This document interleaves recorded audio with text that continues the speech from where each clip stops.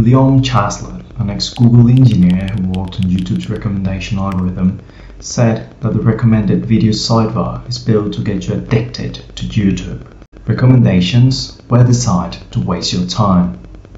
If you're like me, you've probably found yourself diving into YouTube for some quick research, only to get lost in a sea of recommended videos and distractions.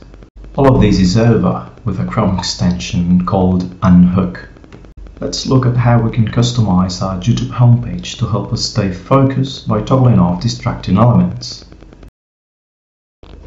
To use this extension, we head over to Chrome Web Store. We search for Unhook, or just go to the link down in the description.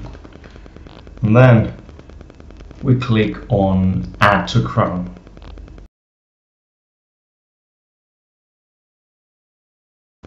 If you like, you can pin it to this top bar to make it more accessible and easier to tweak.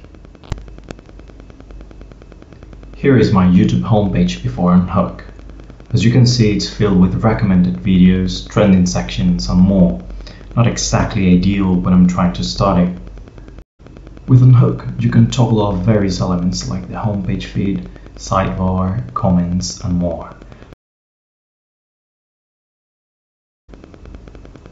Generally leave everything off except for the playlist, the video info and the top header.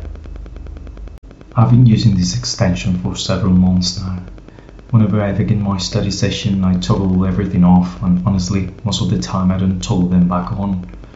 There is a beauty in not wasting time watching things that you didn't want to watch to begin with. So if you're tired of getting distracted on YouTube, give Unhook a try.